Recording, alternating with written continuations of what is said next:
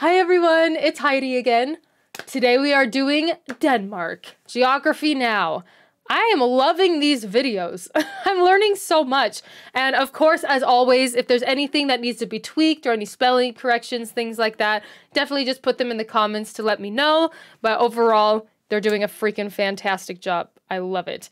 Um, if you like the video, make sure to like and subscribe. Come see me on Twitch. I'm loving talking to you, talking to you guys live about this kind of stuff and just about random stuff in general.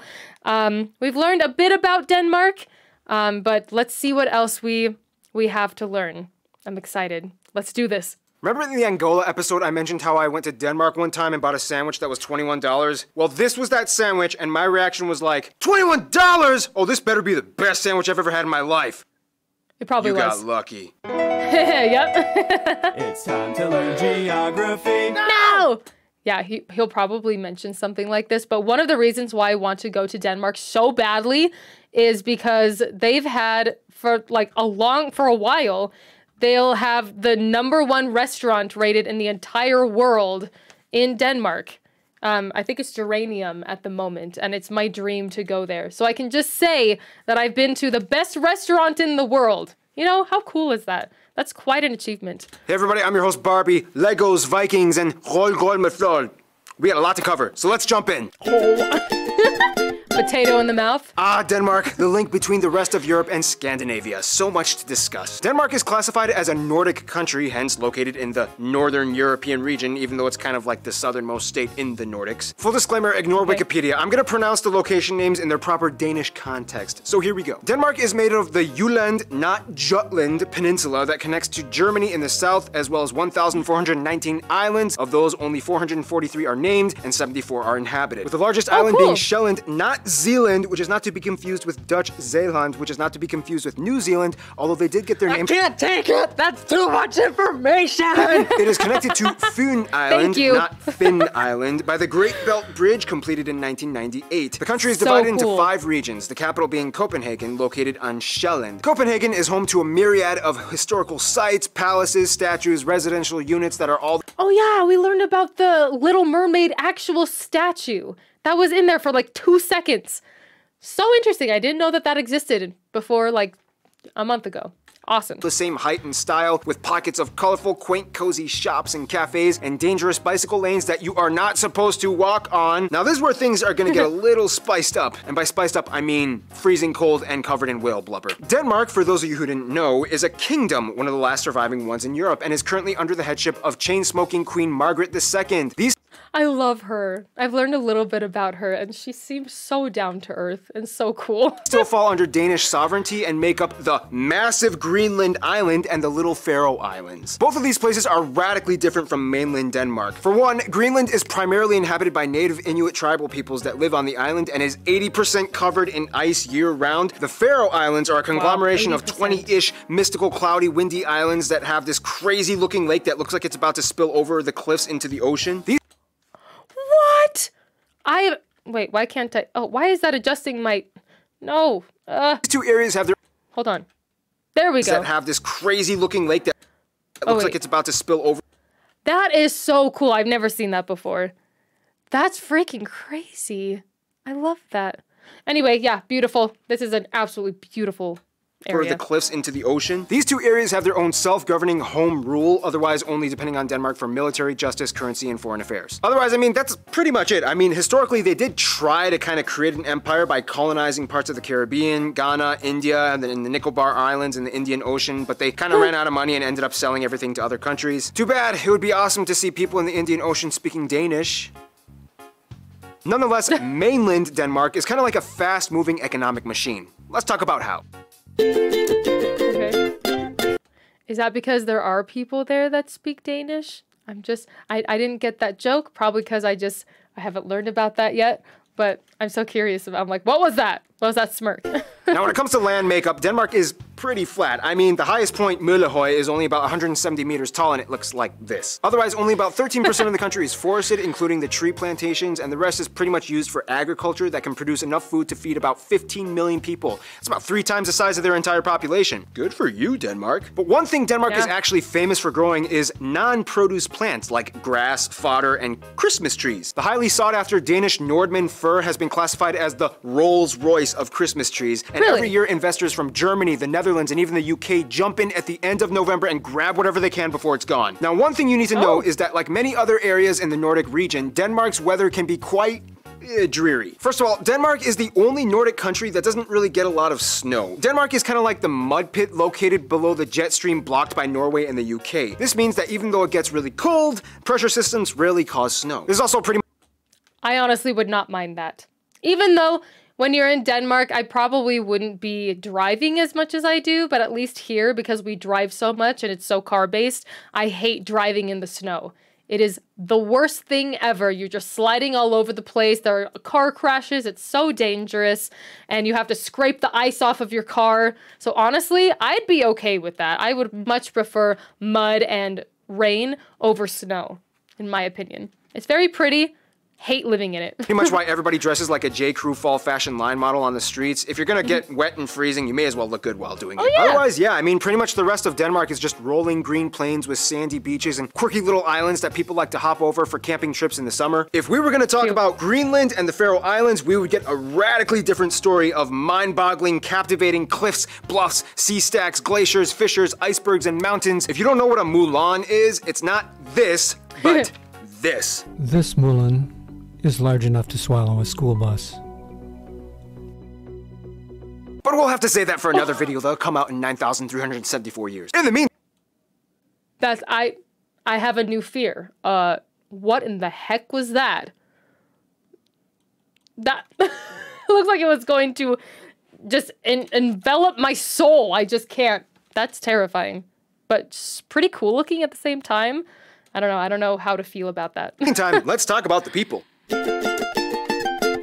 So nice. Now, this is gonna get really fun. Denmark's people are really unique in their cultural, historical, and postmodern upbringing. First of all, the country has about 5.7 million people and is one of the highest taxed countries in the world. About 89% of the country identifies as ethnically Danish, about 11% are others. Some of the largest groups in the other hmm. category being the Polish, Germans, Turkish, Romanians, Iraqis, and Afghans. Now, when it comes to Where are the people in the US?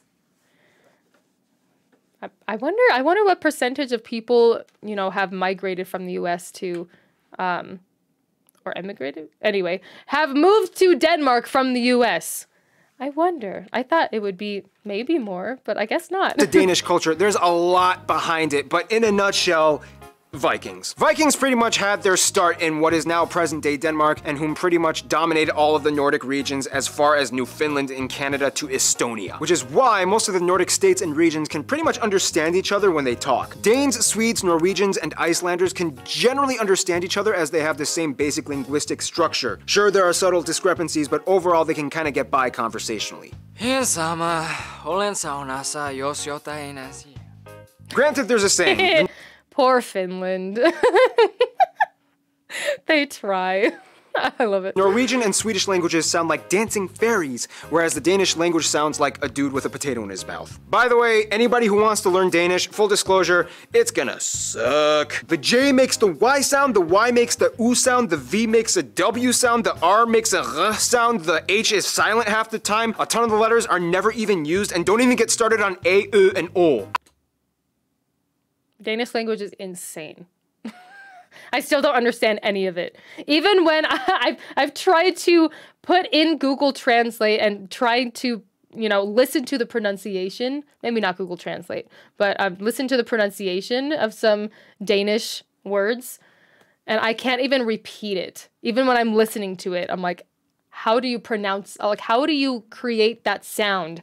And have it come out of your mouth. It's insane. Super cool sounding, but yeah, I would have a hard time learning it. I kind of discovered a little trick though when I went to Denmark. When speaking Danish, all you really have to do is kind of like pronounce the first part of the word that you think makes a sound and then just kind of like give up on the rest of the word. For example, Copenhagen, Nubrogen, Lufstrand. I'm literally just listing names of places in Copenhagen that I've been to. Honestly though, you really won't have much of a problem getting around if you speak English. Over 80% of the entire country, mostly the younger generation, speaks proficient English to the point where they don't even need subtitles when watching American TV shows and movies. Oh, That's so nice to know, honestly. Uh, that's that's one of the reasons why I'm I'm I would like to visit Denmark because I know that I could probably get around okay without speaking Danish because that language intimidates me for sure. But do you guys, especially people in the chat who are Danish, do you agree with the whole potato thing because I've heard that so many times, and I know that it's used to kind of make fun of the the Danish language. Um, but do you guys kind of agree? You're just like, yeah, it's kind of true, or you like, no, no, that's that's just making fun of us. I'm just curious because I, I think it's so funny, um, but at the same time, I don't know. I'm wondering what your what the Danish thoughts are on that. Also, keep in mind, Greenland has its own language that is completely unintelligible as it's an Inuit language closer to the indigenous Inuktitut and Yupik languages found in Canada and Alaska. And Faroese cool. is pretty hard for most Danish people to grasp as it actually has more words rooted in the ancient Norse language and it's actually more intelligible to Icelandic. Back to culture though, Denmark has definitely left its mark, whether it's notable figures like author Hans Christian Andersen, philosopher Søren Kierkegaard, or whether... pronounce his name? That's actually how you pronounce his name. Wow. It's not Soren Kierkegaard. Oh, Boys, It's or whether it be the invention of the loudspeaker or Legos or their love of handball, mm. their impeccable architecture, love of cuisine. Noma in Copenhagen, by the way, being voted the best restaurant in the world with plates that feature live ants and moss. If you re- You know what's really sad is that Noma is actually closing down at the end of 2024, and for the last two years or so, it has not been on the the top number one spot anymore. It's geranium now, and I wonder if I wonder what came first. Are they closing down so they're not trying as hard, or are they failing and so they're closing down because of it? I just I don't know why or what the reason is at all, but I was like trying to get there. I was like, okay, we're gonna go to Noma, but now I've kind of switched to Geranium instead um, because it's no longer the top restaurant. Very sad. It looks crazy to go to, so kind of sad about that. really gonna get a feel for Danish culture though, you kind of have to know about Janteloven and Hygge. The funny thing is, Danes are kind of brought up in a social mindset that is kind of integrated into their subconscious known as Janteloven, which kind of translates to something like, you are not better than the crowd, which I know sounds kind of depressing, but it's really trying to instill a sense of equality and communal cooperation. Hygge translates to something like, spend good times with friends and family, and it's like a cozy thing. Of course, Denmark is known for being ranked one of the happiest overall countries, even though they are also kind of one of the highest ranked consumers of antidepressants as well. But hey, they still pull off everyday life looking oh so good, even if it's during one of those really loud annual emergency drills. Okay, Christine, explain what's happening right now. Denmark is testing the sirens for uh, warfare. loud. We're being attacked by the Germans again. I'm scared. I'm really, really scared right now. Let's run to the security basement. The security basement. The Germans basement. are coming! Speaking of That guy is my favorite person. That's so funny. um, I wonder how they let the people know when it's just uh, a test. Do they have it like on the speaker? Does it say this is just a test and then it runs the siren? Or do you just have to like figure out if it's a test or not? Because I know that sometimes that will happen like with schools or things like that when there's like a fire alarm, you know, um, drill, a fire drill, or things like that. Most of the time, it's just kind of word of mouth, or the teachers will say, okay, today we're going to have a fire drill. So if that doesn't get across to somebody, someone could get really confused. And I'm just wondering how they manage that, like having it be such a like a wide range, I guess, where it's like going across the whole city. Um, I'm just wondering, does anybody know? Germans. Sorry about the sentence. The Germans are coming! Speaking of Germans, Oh, that's so good. Now, we all know that one person we're all kind of jealous of because they're kind of rich, well adjusted, and have a ton of friends, and they're like kind of good looking. Well, that's Norway. Denmark is a little bit rockier. No, but seriously, for such a small nation, Denmark has a huge entourage of friends, and it's almost kind of hard for anyone in the world to dismiss them at a party. As a founding member of the EU and NATO, Denmark has had roots planted in diplomacy for decades. First off, Denmark generally gets along with Germany. Business between the Germans is a hugely integral part of their economy, and Denmark acts like the gateway to Scandinavia for them and the rest of Europe. The US and the UK are incredibly close as both tangible and cultural imports have been established for centuries. For a while, the Danes even took over parts of the UK, which is why to this day the English language still retains hundreds of Old Norse derived words like leg, dog, and window. The closest friends, though, would have to be the Nordic countries Finland, Sweden, Norway, and Iceland. These four are without a doubt Denmark's closest friends, even though Sweden and them have kind of had more wars and battles historically than any other two states in the world. They've moved on and grown up. Out of that that's BFFs for you. You know, you all have your fights. the Nordic countries, though, Norway would probably be considered their best friends. Danes are obsessed with Norwegians and often consider Norway the girlfriend they took away from Sweden. In conclusion, Denmark is the rich, rainy rascal that always seems to show up on time for every party, but somehow gets all his work done in an organized, efficient manner. Stay tuned, Djibouti is coming up next. Is that how you pronounce it? Djibouti? I want to watch that one just for the name. That that's great. I, I mean, I'm not gonna say why.